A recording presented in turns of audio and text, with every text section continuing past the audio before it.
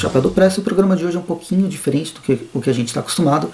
Eu vou falar sobre uma revista que não foi lançada ainda, que é Welcome to Springville. A editora Grafite está trazendo essa revista, que é uma compilação das primeiras histórias desse título que foi lançado lá nos anos 70 na Itália. Aqui no Brasil a editora VEC já lançou também, mas no formato, a cada capítulo foi lançado de forma separada em História do Oeste, e é a primeira vez que a gente vê numa revista só, pelo menos em duas revistas, uma para esse semestre e outra para o segundo semestre.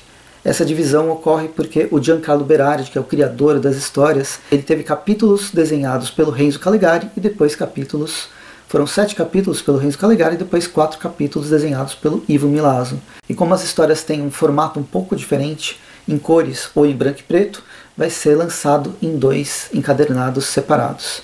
Então, nesse primeiro, é, são as sete primeiras histórias do Renzo Calegari. Inclusive, o lançamento vai ser dia 6 de junho, né, agora, daqui a dois dias, para quem está assistindo o, o programa, o, o, episódio no momento que eu estou que eu estou lançando, junto numa live com o pessoal da Confraria Bonelli. Então vale a pena assistir, pelo menos para conhecer um pouco mais o editor, as, os bastidores de como foi a negociação para pegar esse título e o tradutor que também tem algumas, algumas curiosidades de como foi traduzir Welcome to Springville 30, 40 anos depois de ter sido lançado aqui no Brasil. Bem, mas o que consiste Welcome to Springville? Como eu disse, foram sete e quatro histórias que foram desenhadas tanto pelo Renzo Calegari, as sete primeiras histórias, quanto quatro histórias pelo Ivo Milazzo, e nelas a gente encontra o cotidiano da cidade de Springville, ou da pequena vila de Springville no século XIX.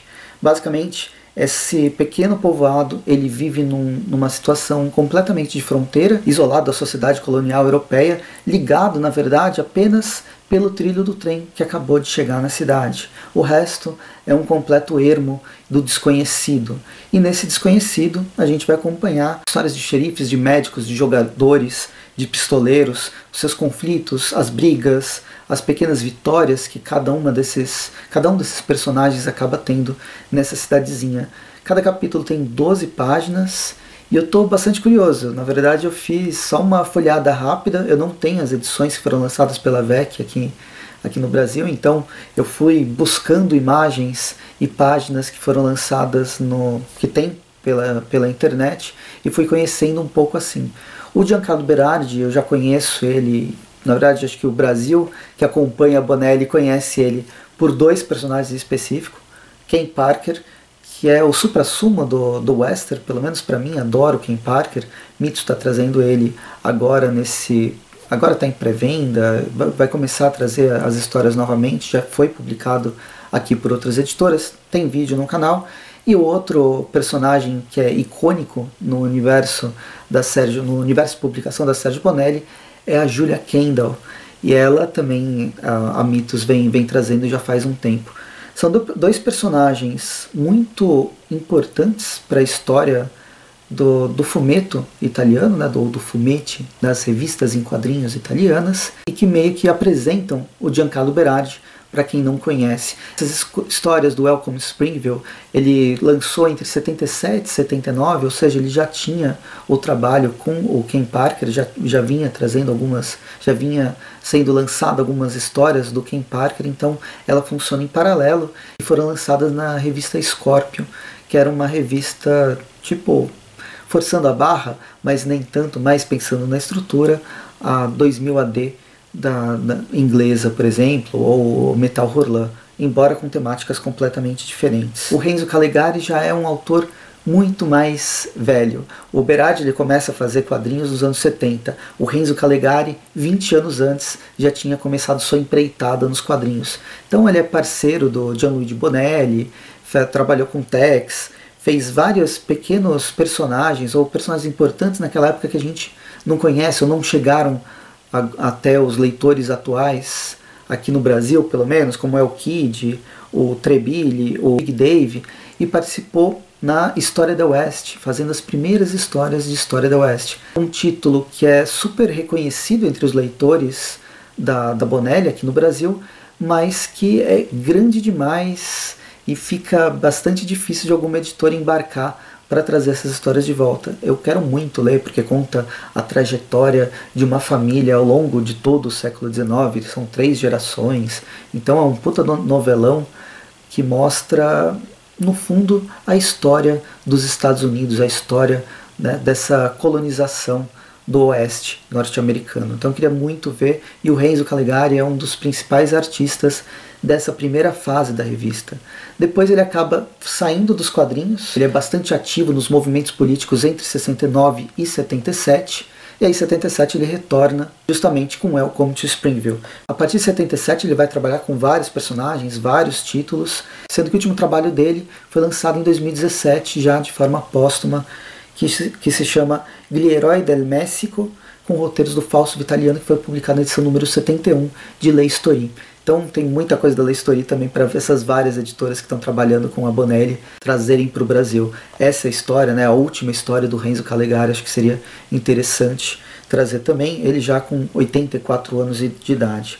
Mas enfim, eu fiz toda essa, essa volta para tentar apresentar justamente quem são esses dois autores, autores reconhecidos e muito bons, os melhores naquilo que eles fazem, tirando as palavras do Wolverine, com uma história bastante interessante. Esses últimos meses que foi anunciado que Welcome to Springville ia vir para o Brasil, várias pessoas começaram a comentar de como essa revista foi marcante para a época que eles tinham lido e que, bem, conhecendo Giancarlo Berardi, conhecendo Renzo Calegari, me chama bastante atenção para a leitura.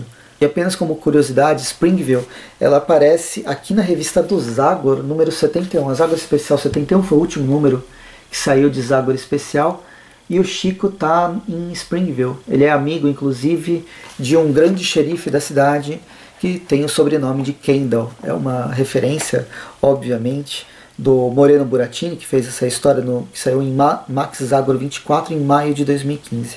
Foi uma homenagem bem, bem interessante, foi bem engraçado é, ler essa, essa Zagor especial. Eu li nessas, nessas últimas semanas e sabendo de, da, da, chegada de Welcome Springville e vendo ela sendo referenciada nessa edição, me chamou bastante atenção. Mas enfim, Welcome to Springville vai ser lançado agora, né, o Catarse vai ser lançado agora dia 6, né, no, no domingo à noite, dia 6 de junho vai ter uma, uma live com o pessoal da Confraria Bonelli, trazendo tanto o Wagner, que é o editor, quanto o Paulo Guanais, que é o tradutor da revista, que acho é interessante assistir, pelo menos para conhecer um pouco mais desses bastidores para trazer o Welcome to Springville, e eu estou esperando, já ansioso, pela revista. Espero que tenham gostado do vídeo. Esse é um vídeo um pouco mais difícil de fazer porque eu não li a revista, eu estou falando mais pelos autores que eu conheço e por pequenas passagens, pequenas páginas que eu consegui pegar na internet e pelo menos apreciar a arte, ver um pouco da, da narrativa dessa, dessa, da proposta do roteiro do, do Giancarlo. Esses, cada um dos capítulos, como eu disse, eles funcionam de forma independente, são sete nessa primeira nessa primeira revista com 12 páginas cada uma delas, então dá para desenvolver bem essas histórias de um cotidiano que a gente não conhece mais, né? um cotidiano que trabalha com violência, mas é um cotidiano do século XIX estadunidense. Me despertou bastante interesse, agora esperar pelo financiamento. Espero que tenham gostado do vídeo. Curtam o vídeo, assinem o canal, assinem o Shopador Press Facebook, me sigam no Instagram, arroba onde eu falo sobre filmes e séries todos os dias com resenhas novas. Fortaleza Quântica, que é um podcast onde eu e amigos meus a gente conversa sobre filmes, séries, quadrinhos e tudo voltado para isso, que são programas bem divertidos e de certa forma atemporais, então vale a pena entrar, procurar em Spotify, procurar em Anchorage para ouvir qualquer um dos episódios que, que interessar mais a vocês. Tem o link da Amazon, qualquer compra do link da Amazon ajuda muito o canal. Tem também uma nova parceria que o, o Chapéu do Press está fazendo com a editora Trem Fantasma. Então, então tem um link abaixo para se associar ao clube do Trem Fantasma, que eles trazem revistas. E no próximo vídeo eu vou explicar um pouco melhor, vou falar sobre a edição que eles estão trazendo atualmente. E além disso tem o Catarse, acho que o principal nesse episódio em específico é o Catarse do Welcome to Springville. Mas para conhecer um pouco mais sobre o que é esse, esse, esse, título que vai ser lançado pela editora Grafite, ouçam, acompanhem a live no Confraria Bonelli que vai ser às 8 horas no dia 6 de junho, agora de 2021. Se vocês verem esse vídeo depois, não vai ajudar tanto assim. Mas enfim, Uma coisa que eu também quero que vocês façam é comentem. Vocês já leram Welcome to Springville? Comentem né, nos comentários. Eu quero saber mais sobre essa, sobre essa história, outras impressões além das que eu li pela internet. Gostaria muito de, de conhecer mesmo antes, mas sem spoiler, por favor, sem spoilers, porque eu quero ler as revistas e ser surpreendido a cada virada de página. É isso, espero que tenham gostado, até mais e bons quadrinhos.